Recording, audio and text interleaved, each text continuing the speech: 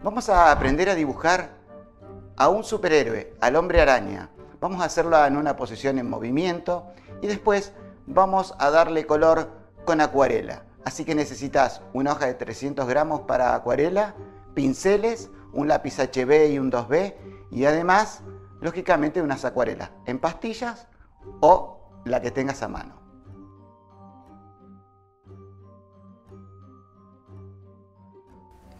Bueno, para empezar a dibujar, sabe que estamos utilizando una hoja de 300 gramos. Vamos a dibujar este superhéroe en una posición de movimiento. Lo primero que hacemos es un eje. Trabajo con un lápiz HB. En este caso yo estoy trabajando con un 2B para que ustedes lo vean mejor.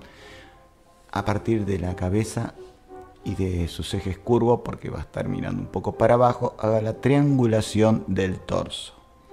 Marco dónde va a estar la parte de arriba de sus piernas, los hombros, la musculatura y así voy formando de cada lado la posición que voy a hacer de este personaje. Marco donde se encuentran los ojos, siempre pensando en la proporción de la cara, del rostro.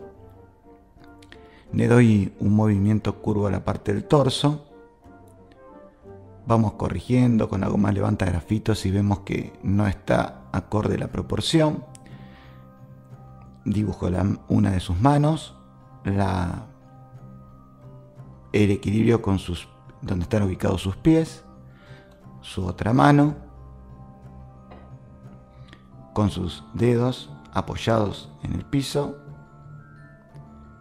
Y de a poco voy finalizando este boceto o sketch mirando bien las proporciones. Con la goma levanta grafito voy corrigiendo y levantando para luego ponerme a pintar con acuarela. Empiezo con un rojo bien profundo, pensando que la luz viene de su lado derecho y con el papel seco voy dándole con el color bien bien aguado primeros las primeras pinceladas de rojo.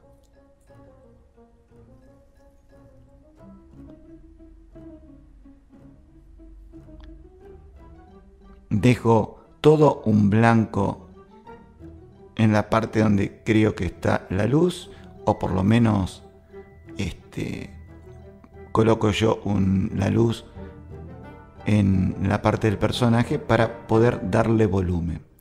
Con un azul muy profundo, primero aguado y después un poco mezclado este azul con un poco de negro, di las bases de la sombra de la parte de abajo y la parte de las piernas donde consideraba que iba a tener reflejo por la musculatura. La sombra rojada del cuello y, la profundidad de la sombra del lado izquierdo de, la pantalla del cuerpo del personaje, la voy profundizando con rojo y un poco de marrón para que vaya tomando volumen toda la parte de la musculatura, la parte de los pies, la sombra rojada.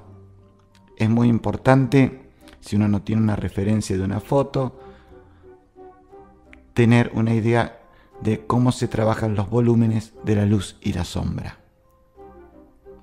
Trabajando con este pincel de punta redonda,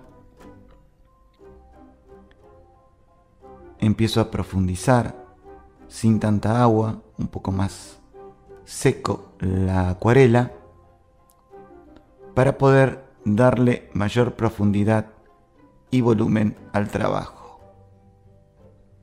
Tomo siempre en cuenta que trabajando con manchas, como me gusta, dejo muchos blancos, que me va a dar eso la posibilidad después, si quiero darle una luz más intensa. Con un marcador de pigmentación de acuarela hice los ojos y empiezo a profundizar, dejando secar previamente la acuarela, empiezo a profundizar todas sus sombras.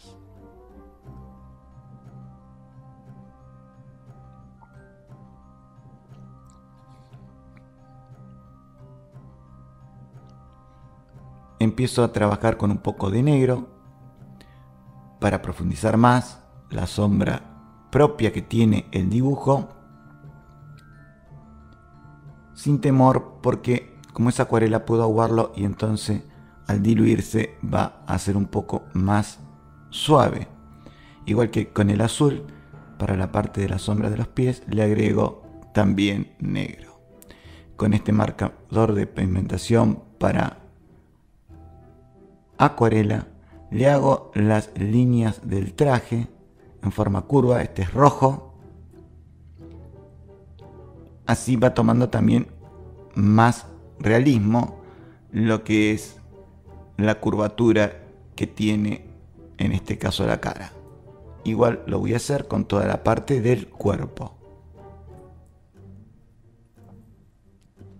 Tomo una virome blanca para hacer la parte de los reflejos, o sea, de las mismas líneas. Y así le voy dando también volumen, ya que es muy importante porque el traje tiene esas características. Considero bien la forma de los músculos para darle la curvatura, igual que en la parte de los dedos. Donde lo voy a ir definiendo de a poco para que quede lo más preciso posible. Con el negro, marcador negro con pigmentación acuarelable, me da la posibilidad de dar, profundizar las sombras y darle un efecto de volumen a la acuarela.